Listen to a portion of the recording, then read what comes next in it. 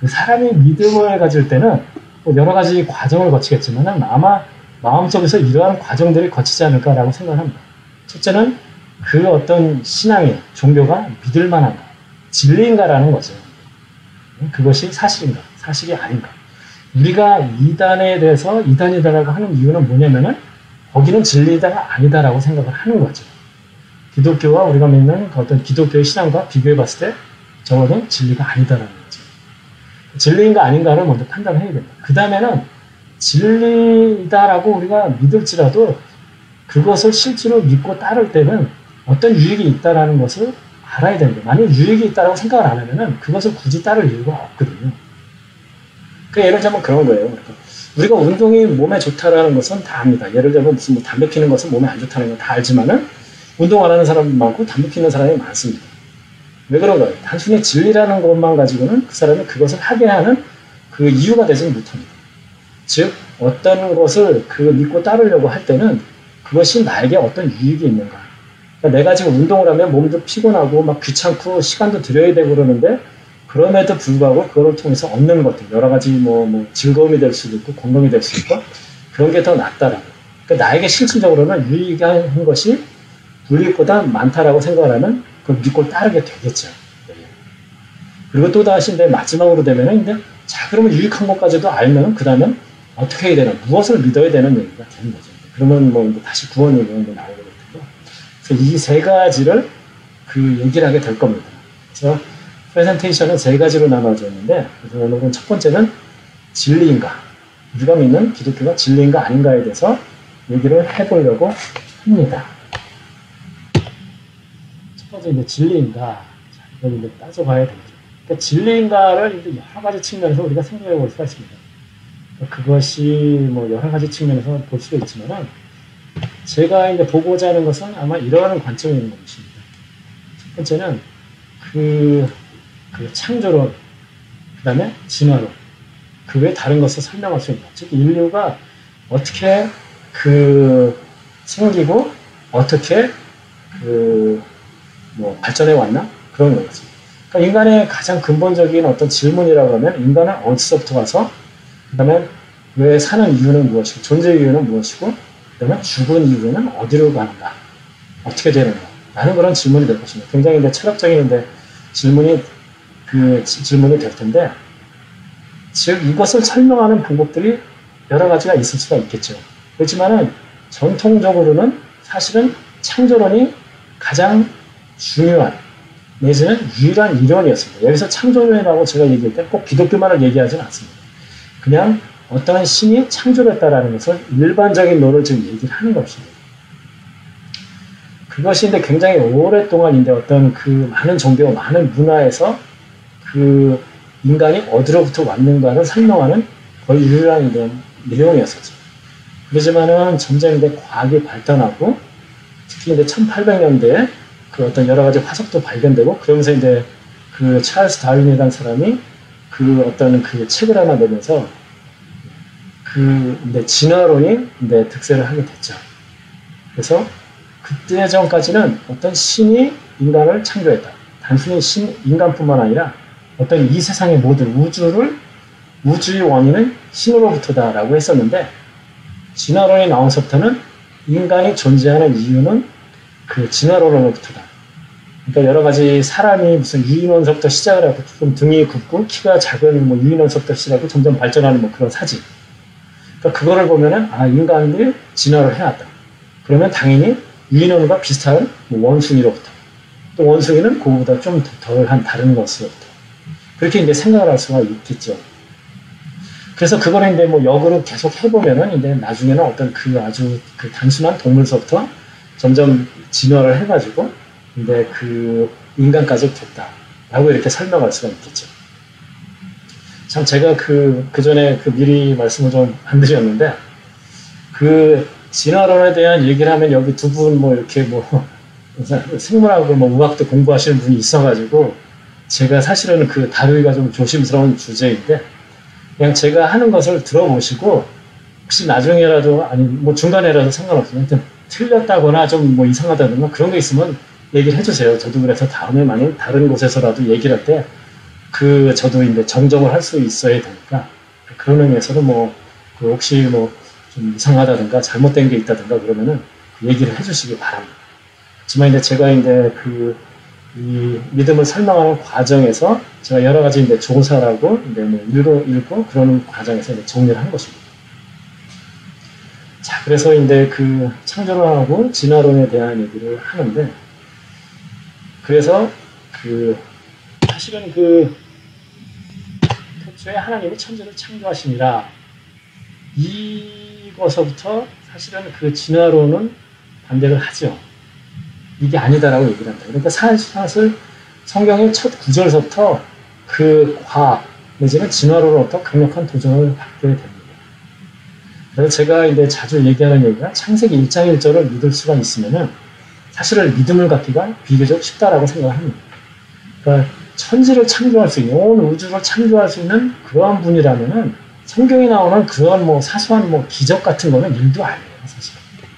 사람 살리고 뭐, 뭐 물을 뭐 포도주를 만들고 이런 건 일도 아니죠. 우주를 만드신 분입니다. 근데 이거를 믿으면은 그 외 여러 가지 뭐 성육 신석부터 시작을 해가지고 뭐 사람 뭐 예수님이 다시 살아나는 것까지 뭐 다 이제 믿기가 아주 좋습니다. 그래서 이제 제가 이제 여기서 하고자 하는 얘기는 진화론이 어떻게 보면은 그 현대 기독교의 현대인의 사상에 미친 영향이 가장 크다라고 할 수 있는 가장 이제 해악을 많이 끼쳤죠. 그 전까지는 그 창조론 신이 그 온 천지를 창조했다가 유일한 설명이 있는데 진화론이 나오면서부터는 더 이상 그 신이 필요 없게 됐습니다. 자연적으로 진화론에 의해서 세상이 이렇게 발전해갖고 왔다라는 얘기죠. 더 이상 신 없이도 어디서 왔는지를 설명할 수 있고 그러면서 이제 더 이상 신을 필요하지 않는 인간들이 되게 되는 것입니다. 그래서 첫 번째는 진화론에 대한 얘기를 이제 할 것이고 그러니까 비판하는 얘기가 되겠죠. 그 다음에는 그 다음에는 진화론이 틀리다 그래갖고 단순히 그렇기 때문에 뭐 창조론 이렇게 얘기할 수는 없잖아요. 그래서 그러면 왜 창조론, 왜 어떤 절대적인 그 능력 있는 지적인 존재가 있어야만 하는가? 이 우주를 봤을 때 그런 측면에서 이제 설명을 합니다. 하려고 합니다. 첫 번째는 진화론은 왜 더 이상 진리가 아닌가? 진화론은 뭐, 뭐 여기 뭐 생물학도 공부하셨고 그러겠지만 뭐 저보다 더 잘 설명할 수 있겠지만은 제가 본 바로는 단세포 생물로부터 인간으로 오랜 시간과 우연에 의해서 뭐 이렇게 이제 됐다라는 거죠. 그래서 여기에는 이제 뭐 그 뭐 돌연변이라든가 뭐 적자생존 뭐 여러 가지 것들이 있지만은 기본적으로는 이제 자연적 선택, natural selection에 의해서 즉 그렇게 됐다는 얘기는 어떤 지적 존재에 의해서 이루어진 것이 아니라 방향성 없이 랜덤하게 오랜 시간에 걸쳐서 이루어졌다는 그런 얘기가 되는 것입니다. 그래서 다윈 시대 이후서부터 많은 그 사람들이 이것을 진리라고 믿게 됐습니다. 요즘에 많은 사람들도 진화론에 대한 구체적인 내용을 모를지라도 이걸 진리라고 생각합니다. 그 이유는 무엇이냐면은 진화론이 교과서에 나오기 때문이지. 많은 사람들이 생각해 설마 교과서에 사실이 아닌 걸 썼겠어 라는 전제를 가지고 있습니다. 저도 어렸을 때는 그런 생각을 했기 때문에 그런 거랑 사실은 그 교회에서 배운 거랑 그 갈등이 갈등이 있었죠. 그렇기 때문에 저는 이렇게 뭐 진화론에 대한 얘기를 하는 것입니다. 그래서 진화론에 대한 얘기를 하면은 우리가 구분을 해야 되는 게 뭐냐면은 대진화, 매크로 이볼루션하고 소진화, 마이크로 이볼루션을 나눠서 생각을 해야 됩니다. 그래서 이제 그 얘기를 하면은 그 소진화는 가능합니다. 그러니까 종 내에서의 어떤 그 변화 그런 거는 이제 가능한데 대진화 종을 넘어서서 어떤 그 변화는 발견된 적도 없고 화석의 발견이 없다라는 얘기고 이론적으로도 불가능하다는 얘기를 합니다. 소진화는 가능한데 대진화는 불가능하다. 자, 그러면 왜 자연적 선택, 진화론에 의해서 이 설명하면은 대진화는 불가능한가? 여기 이제 생각해 봐야 될 것입니다. 첫 번째는 유전적 제약이 있다라고 얘기를 합니다. 여기 그림에서도 알 수 있듯이 마이크로 이벌레이션 같은 종 내에서 그러니까 여기는 다 지금 개 종류예요. 지금. 그러니까 종 내에서는 우리 다 아시잖아요. 브리더나 이런 사람들 또 아니면 종 간의 교배를 통해서 다른 종들이 생겨나고 실제로 엄청나게 많은 개의 종들이 있습니다. 가능을 합니다. 그렇지만은 종을 벗어나서 오른쪽에 있는 것처럼 매크로 이발레 다른 종 간의 어떤 이런 그 교배에 의해 가지고 새로운 종이 탄생하거나 그러기는 힘들다라고 얘기를 합니다. 그러니까 어떤 사람들은 또 얘기를 합니다. 그러면은 예를 들자면 뭐 호랑이랑 뭐 그 사자가 잡종인 거죠. 뭐 라이거 이런 거 있잖아요. 옛날에 보면 뭐그 뭐 옛날엔 자연농원이었죠. 뭐 거기에도 뭐 그런 거 있으면 있고 뭐 그랬다라고 얘기를 하는데 이런 식으로 종간의 교배를 하는 경우에는 그것에서부터 태어나는 그런 그 종은 그 생식 능력이 급격히 떨어진다라고 얘기를 합니다. 그래서 라이거라고 하는 것은 그 암컷 호랑이하고 수컷 사자의 잡종인데 그, 그, 그 사이에서 그 태어나는 것은 그, 그 암컷도 그러고 그 수컷도 그러고 둘 다 생식 능력이 굉장히 떨어진다라고 얘기를 합니다. 그러니까 수컷이라고 얘기하면 정자가 이제 뭐 없거나 이제 아주 적다라든가 암컷 같으면 생식 능력 자체가 없다라든가 그렇게 되는 거죠. 즉 그 얘기는 뭐냐면은 라이거와 라이거가 다시 2차적으로 교배를 해가지고 더 그 자손을 만들 수 있는 가능성이 없다라고 얘기를 합니다. 이거는 여러 가지 실험에 의해 가지고 이렇게 나왔다고 합니다. 이렇게 뭐 예를 들자면 노새도 마찬가지입니다. 노새는 보면은 암마라고 수, 수 당나귀, 수 당나귀하고 사이에서 난 잡, 그 잡종인데 마찬가지로 그 수컷은 정자가 성숙하지 못해가지고 생식 능력이 없다라고 합니다. 그래서 노새와 노새 사이에서의 교배에서 그 노새의 그 새끼는 보통 태어나지 않는다라고 그렇게 뭐 얘기를 합니다. 즉, 그 다른 종 간의 교배에 가지고 생겨날 수는 있을지 모르지만은 생식 능력이 급격히 떨어지기 때문에 그 후손을 그 종간에는 만들기가 어렵다라고 얘기를 합니다. 제가 본 바에 의해서 그렇습니다.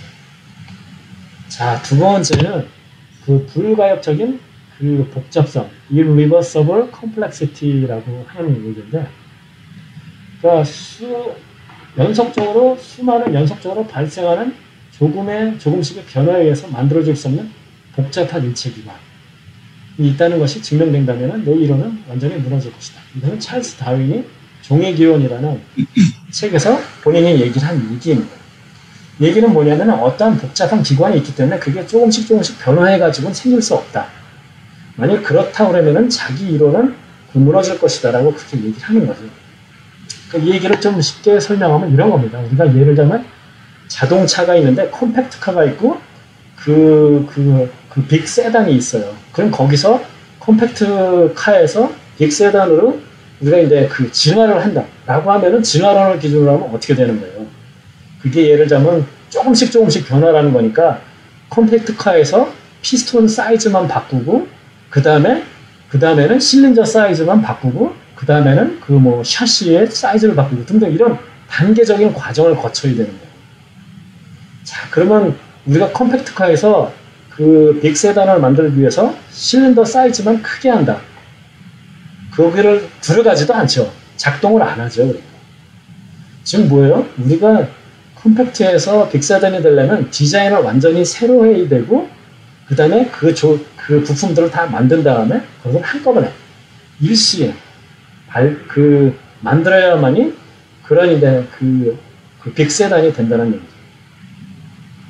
인체의 기관도 마찬가지입니다. 어떤 복잡한 기관이 있는데 그 중간에 과정을 진화론을 거쳐가면서 한다는 건데 그 과정이 너무 복잡하기 때문에 아니 기관이 복잡하기 때문에 중간의 과정을 거치는 것을 어떤 상상해 볼 수 있는데 그런 것을 통해서는 그렇게 그러니까 그 어떤 기관이 어떤 그 기능을 할 수 없다라는 겁니다. 굉장히 뭐 여러 가지 제가 뭐 본 책에는 설명이 많이 되는데 간단하게 그렇습니다. 그래서 이게 인간이 너무 복잡하다는 얘기를 하는 겁니다. 한마디로. 그래서 그게 조금씩 조금씩 점진적으로 그 진화에서 발전해가지고는 그렇게 복잡한 기관을 이룰 수가 없다는 거죠. 그 전에 기능을 못하기 때문에 그 전에 죽는다거나 그런 상황이 된다는 거죠. 그, 그 세포가 죽든지 된다는 거죠. 자, 세 번째는 이제 캄브리아기 대폭파. 이게 예, 대폭파입니다. 이거는 이제 biological big bang이라고 보통 얘기를 하는데 굉장히 화석을 조사를 해보면은 굉장히 짧은 기간에 모든 종들의 화석이 일시적에 나타납니다. 즉 그 얘기는 뭐냐면은 진화가 아니라는 거죠. 진화는 조금씩 조금씩 변해왔다는 얘기이기 때문에 그렇다면은 화석이 굉장히 오랜 기간에 걸쳐서 나타나야 되는 거고 그다음에 그 화석들은 굉장히 그 우리가 생각했을 때 원초적인 그런 어떤 동물의 화석은 굉장히 오래돼야 되고 인간의 화석이라든가 아니면 그 고등동물의 화석은 가장 최근에서부터 나타나는 걸로 이제 나타나야 되는 건데 전혀 그렇지가 않다는 겁니다. 그러니까 화석의 그 어떤 뭐, 뭐 단순한 게 오래되고 뭐 복잡한 게 최근이고 누가 또 뒤죽박죽일 뿐만 아니라 캄브리게 대폭발은 어느 일시에 모든 종들의 화석이 나타난다는 거죠. 그래서 이 지구의 뭐 역사가 굉장히 오래됐다. 뭐 몇, 몇, 몇십억 년 뭐 이렇게 얘기를 하는데 만약 그것을 그 24시간이라는 그 타임으로 줄여서 한다고 그러면 캄브리아 대폭발은 1분 안에 지구 역사를 24시간이라고 하면 1분 안에 모든 게 나타났다고 얘기합니다. 즉 그 얘기는 뭐냐면은 진화가 아니란 얘기죠. 어느 순간에 빵 하고 나타났다는 거죠.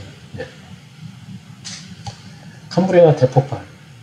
제가 이제 세 가지를 얘기를 들었는데 제가 사실은 뭐 조사하면서 이거보다 더 많은 것들을 통해서 뭐 사실은 뭐 진화론이나 여러 가지로 이제 그 비판하는 것들을 많이 봤는데 그 세 가지는 예를 들었는데 진화론은 사실은 그 영역은 찰스 다윈이 얘기하는 것은 어떻게 보면 인간이 예를 들자면 뭐 유인원서부터 시작을 해서 내지는 뭐 원숭이서부터 뭐 이런 걸 얘기하죠. 그 외에 뭐 여러 가지는 화석을 나타내는데 사실은 그 유, 진화론이라는 영역은 유기물에 대한 영역이라고 할 수가 있습니다. 그래서 아주 그, 그, 그러니까 점점 저 거슬러 올라가면 단세포로부터 어떻게 인간이 되느냐를 이제 설명을 해야 되는 거죠.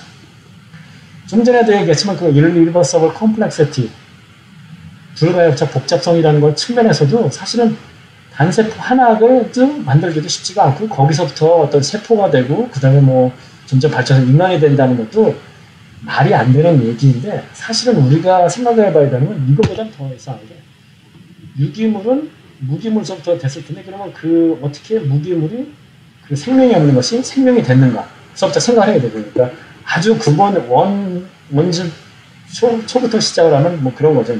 메탄가스라든가 뭐 초기 뭐 대기가스는 뭐 메탄이라든가 암모니아 가스로 이루어졌을 거다라고 뭐 그렇게 얘기를 하는데 그러면 그런 무기물서부터 어떻게 유기물이 됐느냐. 그리고 더 나아가서는 아무것도 없는 상태에서 유기물은 그럼 어디서부터 왔느냐까지 설명을 해야 되지. 그러니까 사실 진화를 설명한다 그러면은 뭐 이 부분도 사실은 그 questionable한 거지만은 더 나아가서는 이 근본적인 것부터 설명을 해야 되니까 쉽지가 않습니다, 사실.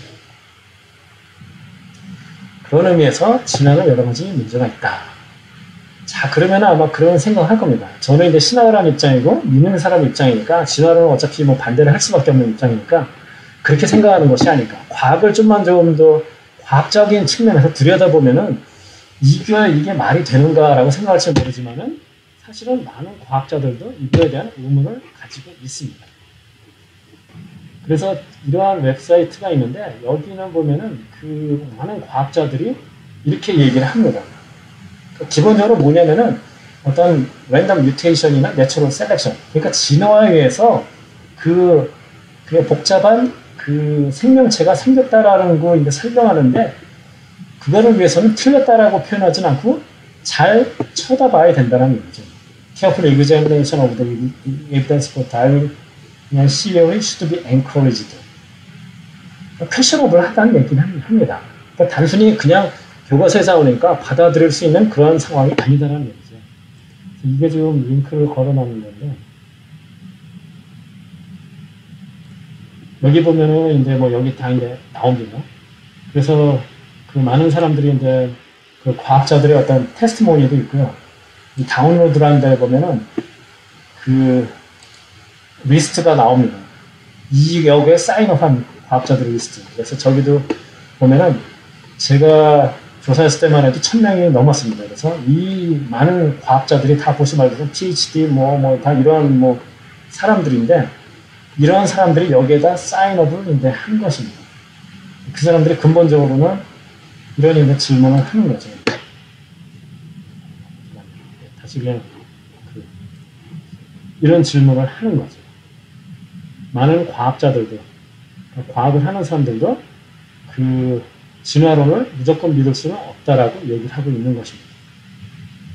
그러면 이제 진화론에 대한 얘기는 좀 했고요. 그래서 진화론은 단순히 그냥 믿을 수만 있는 그 학문은 아니다라고 얘기했는데 자 그럼 반대로 이제 그러면은 하나님의 세상을 창조하셨다라고 하면은 그 이제 그 어떤 측면에서 해야 될 것이냐.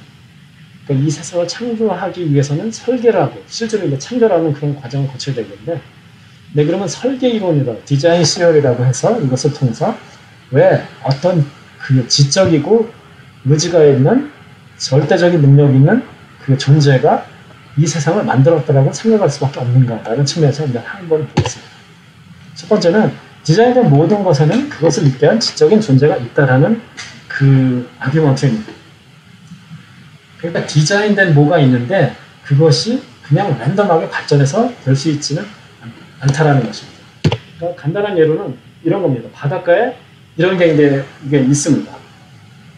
이곳을 보고서 어떤 사람이 예를 들면 야 이것은 누가 쓴 것이 아니라 굉장히 오랜 시간에 걸쳐 가지고 자연의 뭐 아닌 바다의 풍화작용에 의해 가지고 이렇게 생긴 것이다. 라고 생각하는 사람은 아무도 없을 것입니다. 왜냐하면 여기에는 어떤 지적인 정보가 있기 때문에 you라는 것 그리고 특별한 모양으로 이렇게 그 디자인하고 쓰고 이런 과정이 있었죠. 이렇게 단순한 정보, 단순한 걸 가지고도 우리는 절대로 이게 아무리 오랜 시간이 걸쳐도 자연적으로 되지 않는다라고 생각을 합니다. 그런데 하물며 그, 그 디자인된 어떤 것들이 모양인데 인간같이 이렇게 복잡한 것들이 랜덤하게 될 수 있다라고 생각할 수 있겠냐는 것이죠. 자, 이제 여러 가지 이제 논, 논증이 이제 들어갑니다. 첫 번째는 우주론적 논증이 됩니다. 시작하기, 존재하기 시작한 것에는 모든 것에는 원인이 있다. 그리고 우주는 존재하기 시작을 했다. 따라서 우주에는 원인이 있다라는 것입니다. 여기에는 이제 뭐 아마 첫 번째랑 세 번째는 별 그, 그, 그 아규먼트가 없을 것 같은데 두 번째는 우주는 존재하기 시작했다. 때문에 만약 우주가 영원히 존재하는 것이면 어떻겠느냐라고 생각할지 모르겠습니다. 그런데 그 사실은 무한대라는 것은 그 그러니까 무한대의 시간이 있으면은 혹시 되지 않을 그러니까 이런 진화가 있지 않을까라는 측면에서 얘기를 하는데 무한대라는 그런 개념은 사실은 뭐 수학에서는 가능하지만은 실제적인 물리적인 세계에서는 이게 가능하지가 않습니다. 사실은. 자, 이제 예를 들자면 이런 것입니다. 자, 무한대의 공깃돌이 있다라고 이제 생각을 해볼게요. 무한대의 공깃돌이 있다. 자, 그런데 그 공깃돌을 어떤 사람이 무한대의 공깃돌이 있는데 그것을 가지고 있는 사람이 어떤 사람에게 주었어요. 자, 그럼 무한대 마이너스 무한대죠. 근데 결과는 어떻게 돼요? 제로죠. 다 줬으니까. 자, 그 다음에 무한대의 공깃돌이 있는 사람이 있는데 그 사람의 구 중에서 일렬로 세워놨을 때 기준으로 했고 짝수의 그 짝수 번호의 그 공깃돌만을 어떤 사람에게 주었어요. 그러면 역시 무한대 마이너스 무한대가 되죠. 근데 이 경우에는 그 답이 어떻게 돼요? 아래에 있는 이 무한대 마이너스 무한대가 되죠. 무한대의 공깃돌에서 짝수만을 줘, 줬더라도 그 홀수는 남잖아요. 근데 그 홀수가 역시 무한대니까. 자, 또 하나는 무한대의 공깃돌을 쭉 인데 세워놓고 그 중에서 1, 2, 3번은 내가 킵하고 4번서부터 나머지를 다 줬어요. 어떤 사람은. 그러면은 마찬가지로 수학적 공식은 무한대 마이너스 무한대죠. 근데 그 경우에 답은 뭐야 돼요? 3이 되죠. 이 그러니까 무한대 마이너스 무한대인데 답이 다 틀려요. 제로인 경우도 있고 유한수인 경우도 있고 무한대가 되는 거예요. 즉 그 얘기는 뭐냐면은 이론적으로는 그게 가능한지 모르지만은 아니 이론적이라는 얘기는 수학적으로는 가능한지 모르지만은 그 수학 내에서만 있는 개념이 실질적으로는 이제 그 가능하지 않다라는 그런 얘기예요. 우주는 존재하기 시작을 했다. 시작이 모든 것에는 원인이 있다. 그래서 우주에는 원인이 있다. 사실은 일반 상대성 이론은 아인슈타인이 만든 그, 그, 그 발표한 일반 상대성 이론도 이것을 근거를 통해 가지고 이제 모델을 제시했는데 그걸 통해서 그걸 계산을 해보니까 우주는 팽창하고 있다는 것을 알게 됐습니다. 그리고 1929년에 에드윈 허블이라는 사람이 허블 만한 경우로 유명한 사람인데 그 사람이 관측을 통해서 은하계가 점점 이제 팽창, 멀어지고 있는 것을 발견을 했습니다. 그걸 통해서 이제 사람들이 이제 반대로 추론하면은 그 전에 시작점이 있었고 그것을 이제 뭐 과학자들은 빅뱅이라고 하는 거죠. 그러니까 시작이 있었다라는 그런 얘기를 하는 거죠. 그래서 우주론적인 논증을 통해서도 시작하는 모든 것에는 원인이 있고 우주는 시작을 시작이고 따라서 우주에는 원인이 있다. 당연히 그 많은 종교에서는 그 원인은 자기들이 믿는 신을 통해서 있었다라고 얘기를 하는 거고 기독교는 이제 하나님이라고 얘기를 하는 거예요. 자, 물리학적 증거. 그 생명을 존재하기 위해서는 정확히 생명이 존재하기 위해서는 정확히 맞춰져야 되는 좀 물리적인 그 우주론적 변수가 30개가 넘는데 그 30개가 넘는 것들이 굉장히 그 정밀하게 파인 튜는 되어 있다라고 그렇게 얘기를 합니다. 마치 그 표현을 면도날 위에 서 있는 듯이 아슬아슬하게 균형을 이루고 있다라고 그렇게 얘기를 합니다. 그러니까 중력을 예로 들자면은 만약 그 중력의 어떤 숫자를 기준으로 해갖고 그 눈금이 쭉 굉장히 그러니까 전 우주적으로 펼쳐져 있는 어떤 두, 눈금 내에 중력이 딱 어느 한 수치를 가르치고 있다. 중력이라고 하는 우주 상수가.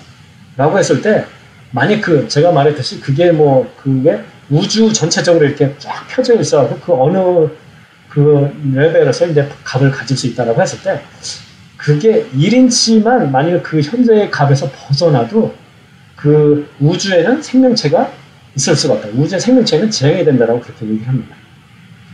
그리고 우주 상수라고 하는 것이 있는데 그것도 그 정밀도가 10의 그 10의 53승분의 1로 아주 굉장히 그 정밀하게 맞춰져 있다라고 합니다. 그다음에 뭐 중성자의 질량 같은 것도 만약 그게 질량이 그 10의 700분의 1만 많이 늘어났더라도 별이 핵융합을 할 수 없었고 그렇다면 당연히 우리가 살 수 있는 그런 빛이 없었으니까 있을 수가 없었겠죠. 뭐 여러 가지로 제가 조사하는 데서 여러 가지인데 설명하는 것들이 많이 있고 제가 지금 뭐 잘 설명을 못하는 부분도 많이 있는데 굉장히 많은 그런 변수들이 보면은 굉장히 미세하게 맞춰져 있고 그거에서 조금만 벗어났더라도 그 우주가 우주의 존재 내지는 생명체의 존재가 불가능했을 거다라고 그렇게 얘기를 하고 있습니다. 그러니까 예를 들자면 그 우리가 만약 동전을 50번을 던져가지고 만약 어떤 사람이 내기를 하는데 50번을 던져가지고 50번이 정, 전부 앞에만 나오면은 내가 뭐 예를 들면 뭐, 뭐 1000불을 주겠다, 뭐 100만 불을 주겠다라고만 내기를 한다고 해요. 그 내기를 했는데 이 사람의 동전을 던졌는데 50번이 계속 앞면만 나왔어요. 자, 그러면 그 결과를 보고서 어떤 사람이 아, 정말 나는 운이 없구나. 그 랜덤하게 했는데도 불구하고 내가 50번이 다 나왔고 내가 적구나라고 생각할 사람이 있을까요? 그렇지가 않을 겁니다. 분명히 그 내기를 한 사람이, 그 동전 던지는 사람이 사기를 쳤을 거다라고 생각을 할 겁니다. 왜냐하면 우연이, 우연이라는 것은 그렇게 쉽게 일어나는 게 아니라는 거죠. 그러니까 동전을 50번 던져가지고 앞면만 나오는 거. 왜냐면 우주로적 산수들이 30개가 넘는 것들이 굉장히 파인툴되어갖고 맞춰져 있는 거. 그 랜덤하게 그렇게 우연히, 자연적으로 살다 보니까 그렇게 되기 쉽지 않다라는 거죠. 동전 던진 사람은 분명히 이 사람이 사기를 쳤을 것이다 라고 생각하는 것처럼 즉 우주에서는 뭐예요? 어떤 사람이 그 모든 것을 알고서 그것을 정확하게 맞춰졌을, 맞춰놨을 것이다 라는 그런 얘기를 하는 겁니다. 자, 근데 또 다른 측면은 이제 천문학적 증거입니다. 그러니까 우주 내에서의 어떤 태양계 위치라든가 태양계 내에서의 어떤 지구 위치, 그러면 뭐 지구와 달과의 뭐 그런 관계를 나타내는 우주에는 수많은 뭐 별이 있고 그렇기 때문에 그 많은 별 중에는 분명히 뭐 그 뭐 지구와 같이 그 생물체가 생, 그 존재하기에 뭐 괜찮은 별이 있을 것이다.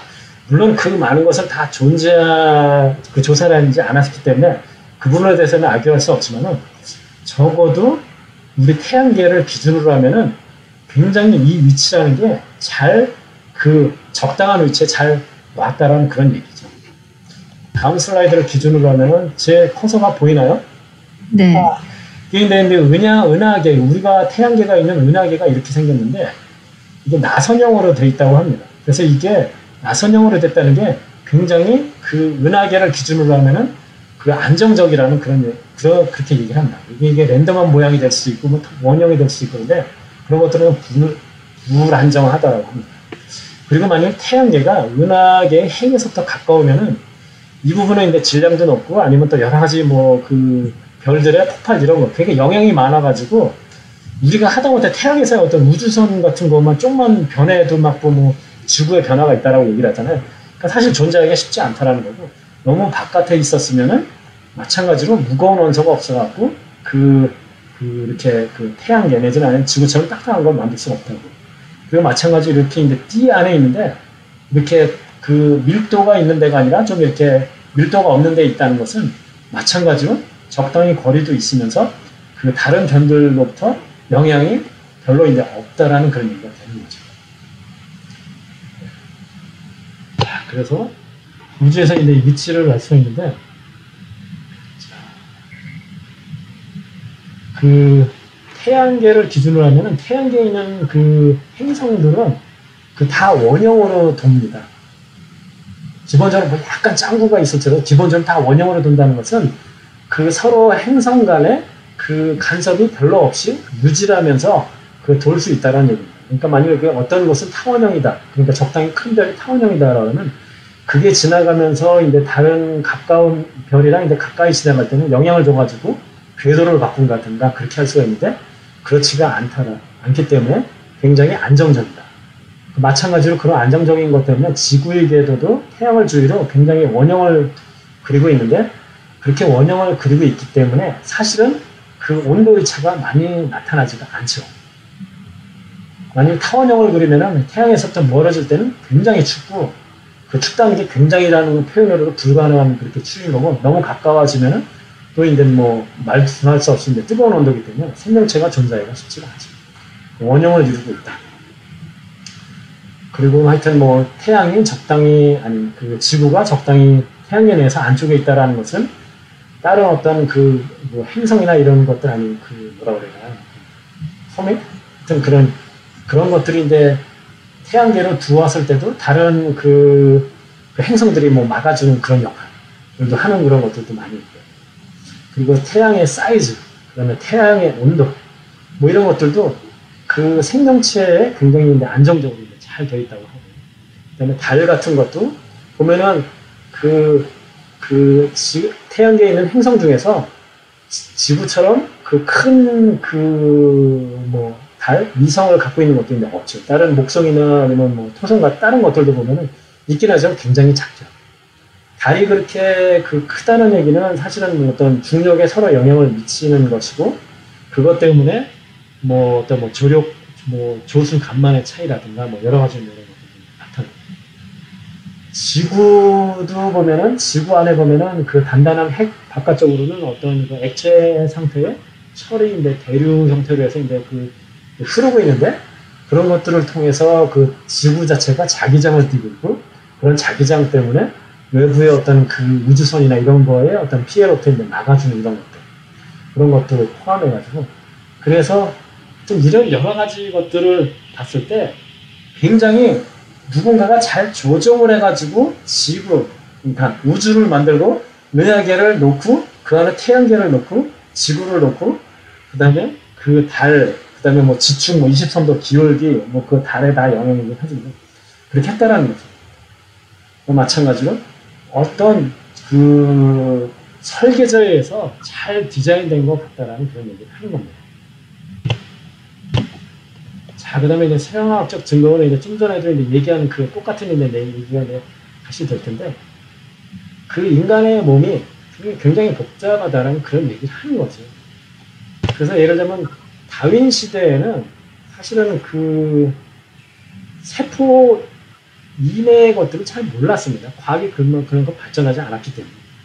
그리고 뭐 세포는 어떻게 뭐 적당히 생기고 거기서부터 어떻게 뭐 잘 세포 분열 같은 거는 이제 그 현미경으로 볼 수가 있어요. 그러니까 어떻게 됐을 것이다 라고 생각해요. 그러니까 당시에는 예를 들면 사람이 죽으면 거기에 이제 구더기 같은 게 생기는 게 그게 이제 자연적으로 생긴다. 라고 이제 그렇게 생각할 시즌이었었죠, 사실은. 근데 우리는 이제 점점 더 생물학이 발전하면서 이제 그 세포 안에도 보면 굉장히 이제 많은 이제 것들이 있고 그 안에 무슨 아미노산이 뭐 DNA 이런 것들이 있다라고 얘기를 하는데 그 이러한 이제 DNA 그리고 아미노산으로부터 시작을 해서 단백질 분자 세포를 얘기를 하는 것도 지금 아니에요. 단백질 분자를 하나를 만들려면은 그게 자연적인 적인 어떤 그 그러니까 진화론에서 얘기하는 자연적인 그 확률에 의해서 그 단백질 분자가 생성될 확률이 그 10의 125승분의 1을 나타낸 거예요. 그러니까 제가 이제 카운트를 다 해가면서 이렇게 영어를 다 집어넣는데 그 얘기 뭐냐면 불가능하다는 얘기를 하는 겁니다. 그러니까 저는 지금 단백질 분자는 얘기를 했어요. 아직 세포까지 얘기를 하는 것도 아니고 거기서부터 가서 무슨 뭐, 뭐 간단한 뭐, 뭐 간단한 생물, 해서부터 지금 동물 뭐 사람까지 가지도 않았어요. 단백질 분자를 하나를 만드는 것도 자연적인, 그러니까 진화론이 얘기하는 자연적인 오랜 시간에 걸쳐서는 거의 불가능하다라는 얘기를 하는 겁니다. 그러니까 하물며 여기서부터 세포가 되고 뭐 그다음에 뭐 단세포 생물이 되고 뭐, 뭐 간단한 생물이 되고 거기서부터 뭐 진화한다는 것은 불가능하다는 얘기를 하는 거죠. 자, 그 다음에는 네, 의식의 증거. 의식의 증거도 이제 굉장히 여러 가지로 이제 뭐 설명할 수 있는 간단하게 얘기하면 그렇습니다. 만약 인간이 순전히 진화에 의해서만 된 것이다. 라고 하면은 이러한 어떤 그, 그 생각들, 이런 것들은 어떻게 생겼을 거냐라는 거죠. 감각이라든가 생각, 감정, 욕구, 신념, 자유, 이런 것들. 제가 그 이 프레젠테이션을 밑에 노트에는 여러 가지로 이제 설명을 했는데, 복잡하기도 하고 그러니까, 사실 이런 것들도 그, 그, 진화로는 사실 설명하기가 쉽지가 않습니다. 그래서 이제 그 이제 설계, 디자인 시어 설계 가설인데 저희가 뭐 우주론적으로 물리학, 천문학, 생물, 생물, 생물학, 뭐 의식 뭐 이런 것들을 집중해서 봤는데 이러한 것으로 봤을 때 지금 과학을 얘기를 하는 거죠. 이런 것으로 봤을 때 진화로는 안 된다. 그리고 너무 이렇게 파인 튠 됐다든가 아니면 잘 맞춰져 있다든가 누가 정말 디자인한 것처럼 이렇게 있다라는 걸 봤을 때 어떤 절대자가 그러니까 그 일이 우주를 설계하고 실제로 창조했을 것이다 라고 생각할 수밖에 없다는 거죠. 다시 말씀드리지만 저는 좀 당연히 그 기독교의 하나님이 만들었다고 했지만 어떠한 신이든지 상관없어요. 사실 정확히 얘기하면. 어떤 지적인 인간의 차원을 넘는 지적인 존재가 이것을 설계하고 만들었다라고 생각할 수가 없겠다는 거죠. 적어도 자연적으로 우연에 의해서 시간이 오래된다고 찾을 수는 없다는 것이죠. 그래서 보면 로마서 1장 20절에 나오는 창조 때부터 하나님의 보이지 않는 속성, 그분의 영원하신 능력과 신성이 지으신 만물을 보고서 깨닫게 되었습니다. 지금 뭐예요? 우리가 지금 여태까지 한 얘기를 하고 있는 거예요. 하나님의 능력과 신성, 속성이 그 천지 만물에 다 됐다라는 거고 디자인 설계를 통해서 우리는 지금 걸어봤습니다. 그래서 그거는 핑계될 수가 없다라는 하는 거죠. 절대자가 만들었다. 자, 근데 어떤 사람들이 이제 좀 얘기를 좀 들어보면은 기독교를 아마 그 비판하는 입장에 있는 사람들은 이렇게 얘기를 할 겁니다. 신앙의 요체는 증거와는 상관없이 무조건 믿는 것이다. 그런 면에서 신앙은 과학과 대조적이다. 라고 이제 얘기를 많이 합니다. 그 과학을 하는 사람과 그 믿음을 얘기하는 사람 간에 그, 그 토론을 하면은 그 과학을 하는 사람들이 얘기하는 것은 뭐냐면은 과학의 영역을 얘기를 하는데 신앙을 집어넣지 말라라고 그렇게 얘기를 해요. 다른가 틀리니까 그 얘기하지 말라라고 그렇게 얘기를 하는데 그 사실은 많은 사람들이 이렇게 얘기를 하는데 과학자들 얘기 뭐 굉장히 많지만은 몇 가지만 이제 두 가지만 얘기를 하면 됩니다. 과학에 대해 아무것도 모르는 문외한 만이 과학이 신앙을 앗아간다고 말할 것이다. 과학을 제대로 연구하면 그로 인해서 하나님께 더 가까이 가게 될 것이다. 라고 이제 제임스 티어라는 과학자가 얘기했고요. 뭐, 조제 코인이라는 천체 물리학자는 우주에 대해 배우는 어떠한 내용도 우리 신앙을 위협하지 않는다. 오히려 신앙을 풍성하게 할 뿐이다. 그것을 연구함으로써 그인의 경이로움을 보면서 우연으로는 절대로 생길 수가 없구나라는 걸 이제 깨닫게 됐다는 거죠. 제는 오늘 얘기하려고 하는 것은 이제 설계자의 정체가 되는 건데, 당연히 이제 그 설계자는 창조주가 되겠죠. 우주의 원인은. 그리고 아까쯤에 그 존재하는 모든 것에는 그, 그 원인이 있다라고 그렇게 얘기를 했을 때, 그러면 어떤 사람은 그렇게 얘기를 한다. 그러면은 하나님은 누가 창조했느냐라고 이제 그렇게 물어보는데, 여기서 이제 그, 그 하나님은 자존하는 쓰는 분이고 차원이 다르다라고 얘기를 했었죠. 우리가 얘기하는 것은 우리가 갖고 있는 어떤 이 차원, 우리가 있는 우주 내에서를 얘기를 하는데, 이 설계자의 정체는 그 차원을 벗어나는 영역 밖이라는 그런 얘기를 하는 거죠. 그렇기 때문에 논해가 될 수 있는 거죠. 다시 얘기하지만은 어떤 그런 절대자가 있다라는 얘기를 하는 거예요. 우리의 그 차원을 벗어난 절대자. 그래서 그분은 내 차 자존하며 언제나 있고 시간을 초월하고 굉장히 오랜 시간을 우리가 얘기를 하는 거예요. 당연히 비물질적이고 의지가 자유고 그리고 가장 중요한 것은 엄청난 능력을 것. 여기서 엄청나다는 것은 여기서 엄청나다는 걸로 표현으로 다 할 수 있는 그런 부분이 아니죠 사실. 그래서 이제 이렇게 그, 그, 그 생각을 여러 가지로 이제 봤는데 요즘은 그 진화로는 많은 사람들이 교과서에 있기 때문에 그냥 사실이다라고 믿지만은 사실은 굉장히 문제가 많은 이론이다. 실제로는 그 설명을 할 수 없는 그 여러 가지 설명할 수 있는 그런 이론이다라는 얘기를 하고 그다음에 어떤 그 여러 가지 과학적인 사실을 통해서 봤을 때 그러한 것들 통해서 어떤 설계자가 있지 않으면 이렇게 우주가 지탱하고 존재하고 하기가 어려웠을 것이다 라는 것을 얘기하는 거죠. 그거를 통해서 이 기독교가 사실인가 진리인가 라고 했을 때 기독교에서는 어떤 그 우리가 믿는 하나님이 천지를 창조하신 그런 분이고 바로 그분이 우리가 지금 여기서 얘기하는 설계자다라고 얘기를 하는 거죠. 이게 뭐냐면은 우리가 믿는 이 신앙 자체가 믿을만 하다라는 얘기를 하는 것입니다. 그렇지만 역시 내가 말씀드린 것처럼 질문은 남아있는 거지. 사실이더라도 하더라도 so what? 그래서 나보고 어쩌라고 그렇게 얘기를 할 수가 있겠죠. 다음 시간에는 그러면 그 실제로 기독교 신앙은 그 나에게 어떤 유익이 있을 것인가, 어떤 도움이 될 수 있을 것인가에 대해서 얘기를 해볼 예정입니다.